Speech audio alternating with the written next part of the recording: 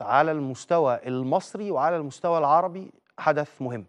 آه، ممكن الكتاب تكون مكانته تراجعت ده فكرة عند ناس كتير. لكن مصر لغاية النهاردة آه، فيها حاجة اسمها قائمة الكتب الأفضل مبيعا فيها جيل آه، إحنا بنتهمه طول الوقت بأنه بيبص على شاشات وبس وبيتعامل مع التليفونات وبس. لكن في قراية. القراية واستهلاك ال- الكتب صحيح مش بالنسبة اللي إنها تكون في بلد تعدادها تجاوز ال 100 مليون لكن لو عندك 10 آه، مليون ولا آه، 20 مليون آه، بيقروا كتب على مدى السنة كلها فأنت كده قد ثلاث أربع بلاد تانيين جنبك على سبيل ال- المثال يعني. النهارده ال- النسخة الخمسين من معرض الكتاب معرض القاهرة الدولي للكتاب.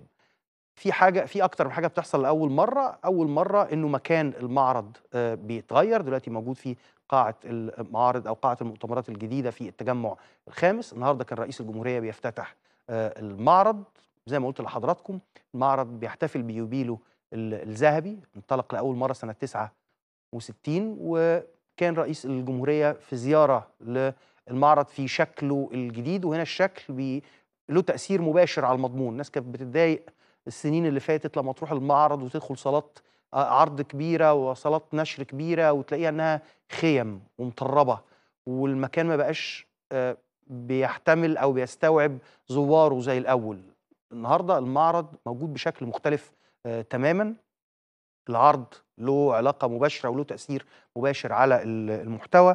في عدد كبير من الناشرين فوق ال 700 آه، ناشر 748 ناشر آه، تحديدا في آه، إصدارات للناشرين بقى بشكل غير مباشر.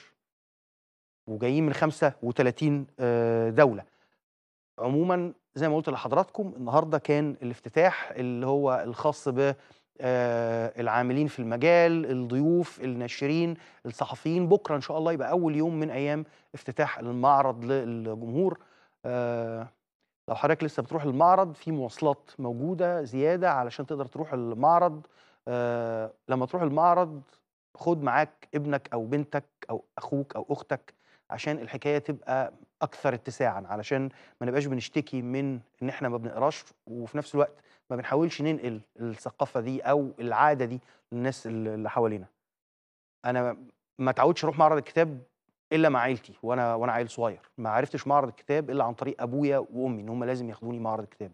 فاذا كان المواصلات موجودة ومتاحة وفي أكتر من خط أعتقد 40 خط ممكن يوصلوا لقاعه العرض ما تستسهلش وروح لأنه ده مش هينعكس عليك بس آه، متعة وفهم للنهارده ده هينعكس عليك وعلى آه، عيلتك كلها وعلى أسرتك كلها على مدى السنين الطويلة اللي جاية إن شاء الله.